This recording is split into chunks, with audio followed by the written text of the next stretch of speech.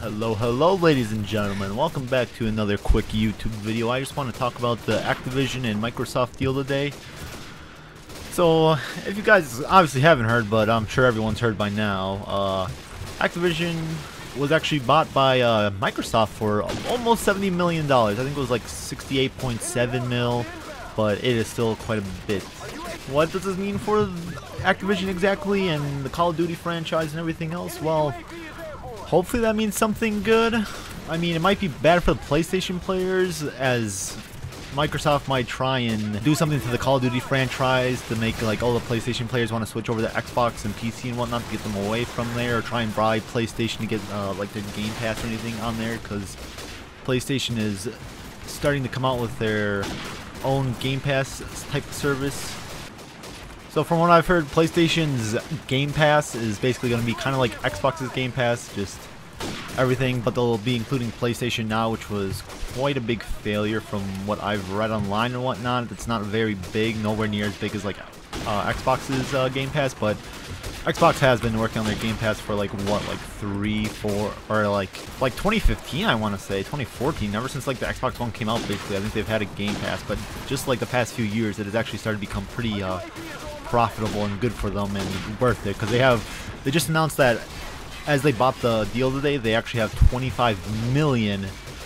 Game Pass subscribers which I believe just like a few months ago they just reported that they uh, got like 22 21 million I believe Game Pass subscribers. So that's pretty insane. And now that they acquired the biggest actually yeah I would say Activision is probably the biggest gaming franchise known to man right now that yeah that'll probably go to like 30 35 million subscribers easily within the next year or two or whenever Activision or when uh, the deal finally goes through in June of 2023 the one thing I'm hoping though is that maybe COD won't have yearly cycles or if they do it'll be a lot more uh, a lot less broken and buggy than what the past few years have been because I have not bought Vanguard at all. Do I ever plan on buying Vanguard? Hell the fuck no. That Fuck that game. That game is so trash. I will never buy that game in my life. I regret buying Cold War. I got shadow banned twice on that game. I got a Shadowban once. Got on Shadowban for like two days. Got Shadowban again, again, and then I uh, I deleted that game and never and reinstalling that shit again. That was like back during season one. But I did like Modern Warfare 2019. I do still go back and play it, although it is completely broken. But the only fun game mode on there is Hardpoint, and yeah, it's kind of hard to find lobbies every once in a while because of the broken matchmaking on there. Which will lead me into my next point about what Microsoft will have to do once they acquire them. So, listen, they, they're going to have to go back and fix the good old Xbox 360 day days in their games because Everything from MW3, BO1, COD 4, World at War, COD 3, COD 2, all those games. Anything older than MW3 or older.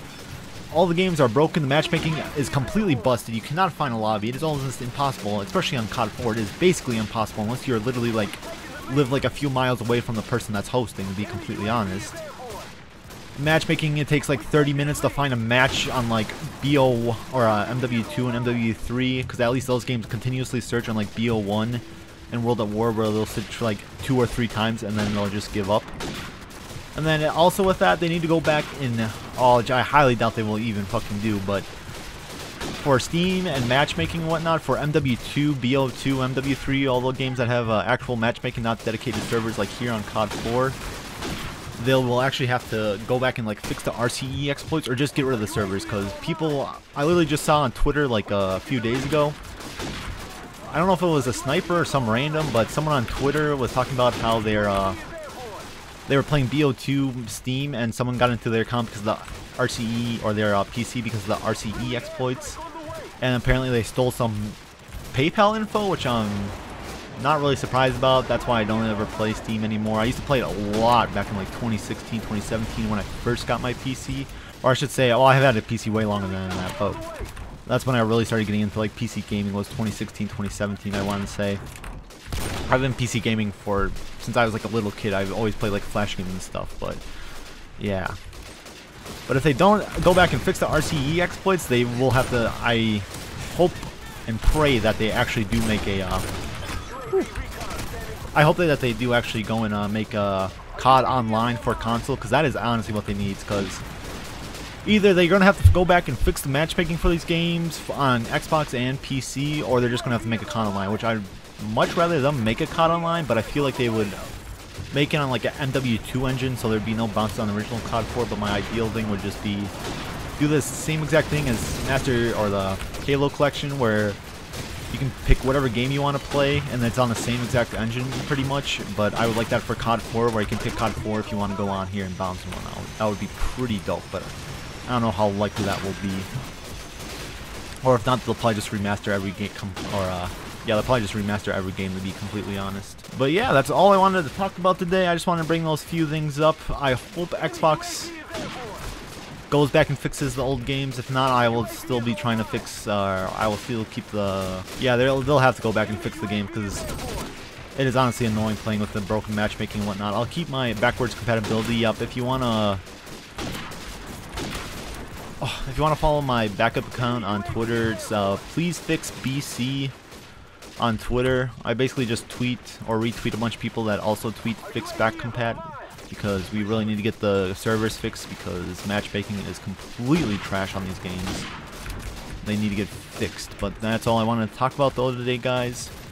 Uh, yeah. Thanks for watching if you stuck to the end, and have a good day. Oh my fucking god. Fuck me. Bye.